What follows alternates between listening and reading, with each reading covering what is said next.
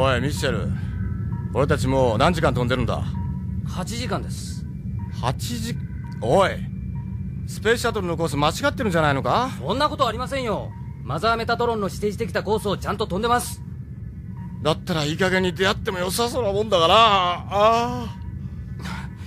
マドラス船長随分リラックスしてますね。ああそうか？宇宙に帰ってきたせいかな。マドラス船長まだメタトロンの船と接触できないのか？すまんもう少し待ってくれ。我慢できないほど具合が悪いのか？あいや吐き気はだいぶ収まった。でも頭がフラフラする。体を動かすたびに宙返りをしてるような気分になるんだ。訓練もせずにいきなり宇宙に上がったからな。無重力に体が慣れないんだろうな。こんなことで宇宙で暮らしていけるんだろうか？心配するな。3日もすれば慣れる人間ってやつはずぶとくできてるからな。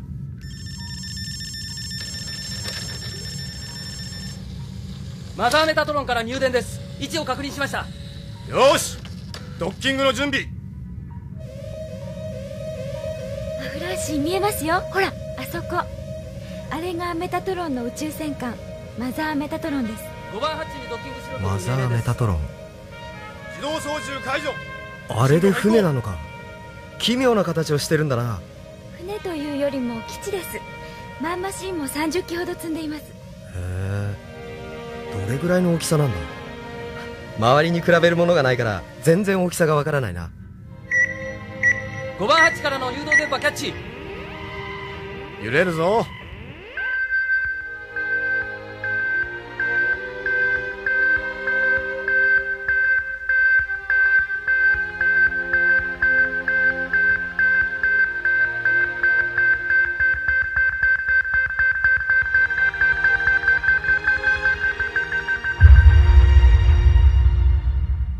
ドッキング完了。よーし。マザーメタトロンに乗り移るぞ。クリシュナアフランシは慣れてない。そばについててやれ。はい。アフランシー一緒に来てください。移動するときは手や足で反動をつけないように勢いがつきすぎますから。ゆっくりと体を動かせばいいんだな。そうです。じゃあ行きましょう。アフランシーリフトグリップを握ってください。リフトグリップ？無重力の中を移動するための装置です。握ると動き出しますから。これを掴むのか？あ体が引っ張られる。危ないと思ったら手を離してください。すぐに止まりますから。ケラ押すな。さっさと行けよ。下が疲れてる。うるさい。黙ってついてこい。ここがマザーメタトロンか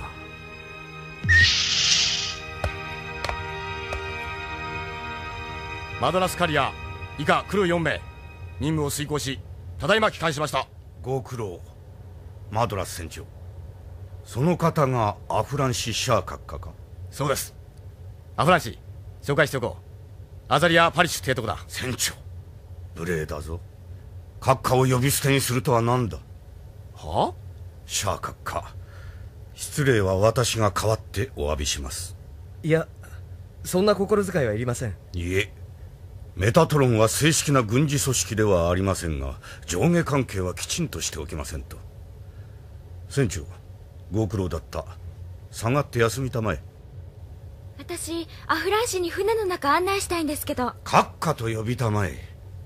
閣下にはこちらで世話係をつける。おいグレン！は閣下お目にかかれて光栄です。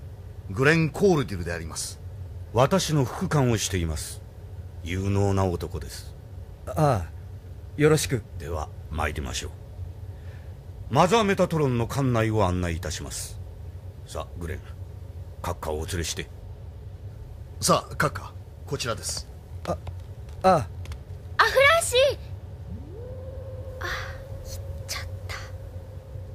なんだよ提督のあの態度は。シャアをここまで連れてきたのは俺たちだぞ。役目が終わればとっとと消えろかやってられねえなったく。お役だよ。親ら方はアフランシしか眼中にないんだ。閣下ここがメインブリッジです。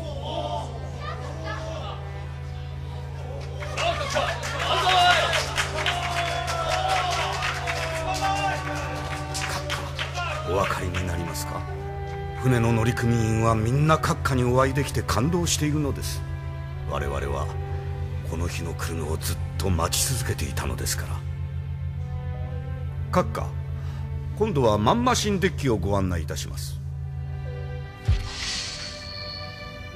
僕をシャア・アズナブルの後継者だと簡単に認めてしまっていいのか？報告は受けています。閣下は何の訓練も受けておられないのにガイアギアに乗って見事に操縦された。しかもマハのマンマシンを5機も落とした普通の人間にはできないことです。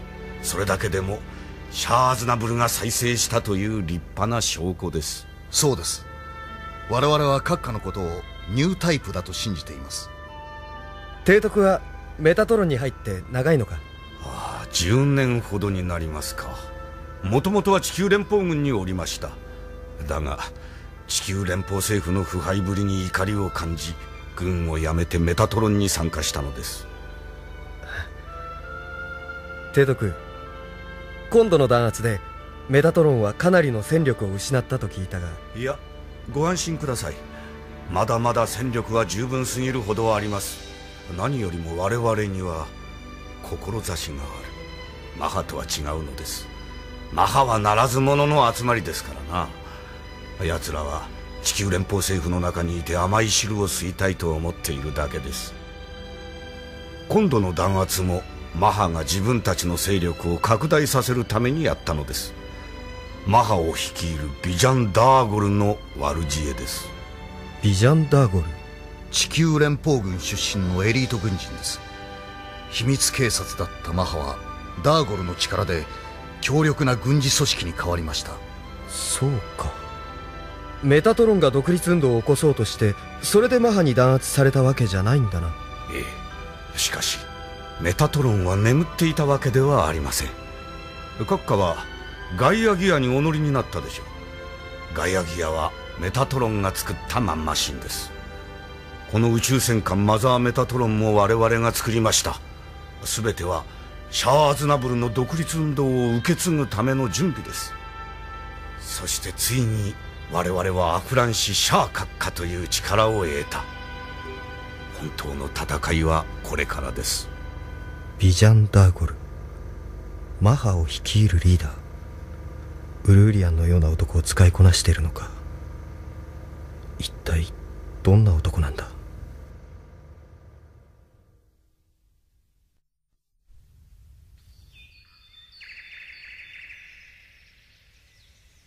ウルお前の提出した報告書は読んだ。アフランシ・シャーという男。どうやら本物だな。あ。シャーズナブルの記憶を持っていながらそのことを知らずに生きてきた。奇妙だな。なぜだと思う？さあメタトロンの連中はアフランシを鍛えるためだと言っていましたが。おう。なるほど。どうだウル？このバルコニーからの眺めは？真下に広がる森は人の手が入っていないように見えます。ヘラスにこのような場所があったとは知りませんでした。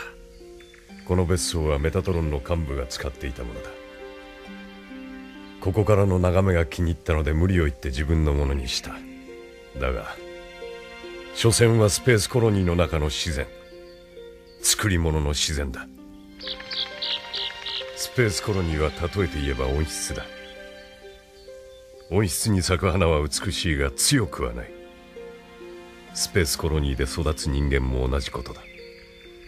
だからメタトロンはアフランシシャアを地球で育てたとおっしゃるのですか？そうだ。地球の環境の中で鍛えるためにな。その考え方は間違ってはいない。そしてマハがメタトロンを潰そうとした時アフランシシャアは眠っていた能力を目覚めさせた奴が宇宙に来たことで反地球連邦政府運動は息を吹き返すはずだ。申し訳ありません。奴を宇宙に上げたのは自分の責任です。ウルーリアンアフランシシャアとお前とは因縁ができた。アフランシはお前の前に立ちふさがる壁となったのだ。さてどうする？壁を乗り越えるか。遠回りして壁を避けるかそれともを巻いて逃げるか。俺の邪魔をする壁はぶち壊します。それがマハのやり方ですから。無能な人間は容赦なく排除する。それもマハのやり方だ。承知しています。ダーゴル大佐。失敗の償いはこの手で必ず。ではウリアン少尉。本日付でブロンテクスター第8中隊に配属を命じる。ブロンテクスター？あの新型マンマシンを実戦配備するのですか？早くパイロットとしての勘を取り戻しておけ。メタトロンが動き出す気配があればすぐに出撃させる。わかりました。ダーゴル大佐サイド4に展開中の連邦軍第3艦隊から連絡がありました。香港で乗っ取られたスペースシャトルがメタトロンの宇宙戦艦と接触した模様です。そうかメタトロンは反地球連邦政府運動のシンボルを手に入れたというわけだ。アフランシシャシャアーズナブルの再来か。地球で鍛えた人間が初めての宇宙で何をするのか。見せてもらおう。セイバー少尉フロンテクスターの調子はいかがですか？操縦桿が重いなセッティングが良くない。やり直しだ。またですか？徹夜して直したんですよ。何度でも直せ。もし戦闘中に故障したら死ぬのは私たちパイロットなんだぞ。あまりメカニックをいじめるなよセイバー少尉。ウルいつ戻ってきた？今朝ヘラスに着いた。ダーゴル大佐にたっぷり小言を頂戴したんだろ。あんたの地球での活躍ぶりは聞いてるよ。皮肉を言うなよレイラそのおかげでブロンテクスター第8中隊に配属になったんだ。へえ。私の部下になるってわけだ。部下じゃなくて同僚だ。よろしく頼むセイバー少尉香港マハのジャン・ウェン・フーが落とされたという話。本当？ああ。相手のパイロットはニュータイプだっていう噂だけど。さあそうとも言えないな。ジャン・ウェンフは相手を経験の浅いパイロットだと思い舐めてかかった。だから隙を突かれて落とされた。へえ。そのパイロットシャア・アズナブルのクローンなんだって？それは軍事機密に関わることだ。コメントできないな。じゃあ聞かないでおくよ。どうせそいつは宇宙に来るんだろ？私がブロンテクスターで可愛がってやるよ。好きにしろ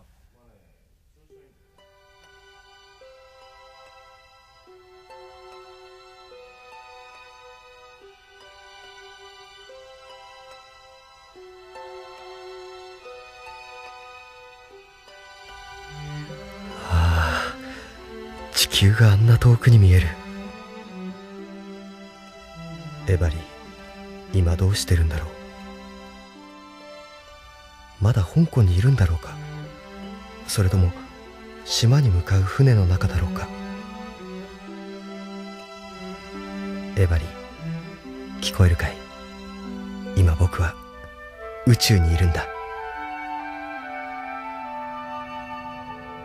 アフランシ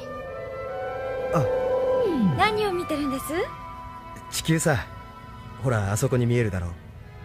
アフランシ。エバリーのこと考えてたんでしょえ？違いますか？いやクリシュナの言う通りだ。よかった。よかった？アフランシは宇宙に上がったらすぐに恋人のことを忘れてしまうようなそんな薄情な人じゃないって分かりました。こんな時シャアーズナブルならどうしただろう。それともシャアーズナブルは恋人を作らなかったのかな。恋人はいました。ララー・スン。ニュータイプと言われたパイロットです。ララースン。不思議だな。とても懐かしい響きだ。初めて聞く名前なのに。それでその女性はシャアーズナブルと結ばれたのか？彼女は戦死したんですシャアーズナブルの目の前で。そうか。クリシュナはシャアーズナブルのこと詳しいんだな。私小さな頃からシャアーズナブル総帥に憧れてたんです。シャア総帥に関する本やビデオは全部目を通してます。へえ。でももうシア総帥のことは考えません。アフランシのことだけを考えて行動します。だって私アフランシシャア直属のスタッフですから。あそのことでお礼を言おうと思ってたんです。アフランシが私たちのことを推薦してくれたんでしょ？メタトロンのリーダーとして最初の命令をしたのさ。アフランシ！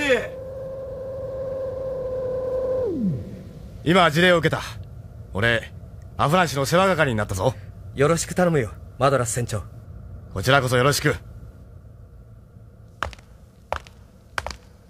ここはマザーメタトロンの居住区だ。遠心力を利用して重力を発生させてる。へえ。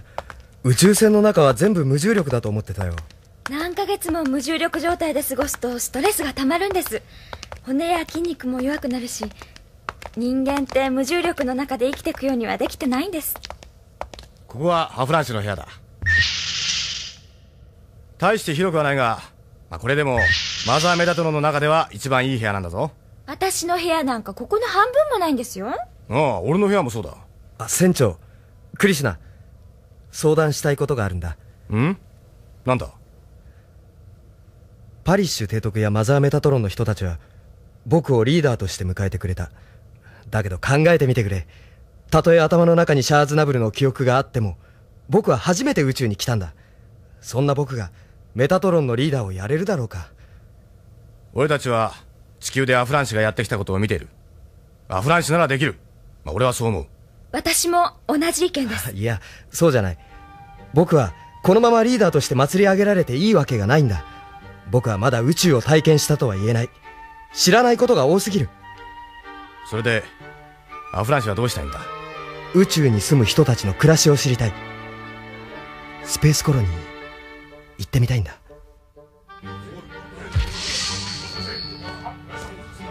シャーカッカはまだ見つからんのか？はい。提督スパシアス号が30分前に発進したそうです。何？そんな話は聞いてないぞ。ブリッジの方では提督が許可を出されたと言ってますが。私は知らん。スパシアス号はマドラス船長の船です。シャーカッカはまさか。スパシアス号に乗っているというのか？そんなバカなことがあるか？もう一度よく探せ閣下は必ず館内のどこかにおられるはずだ。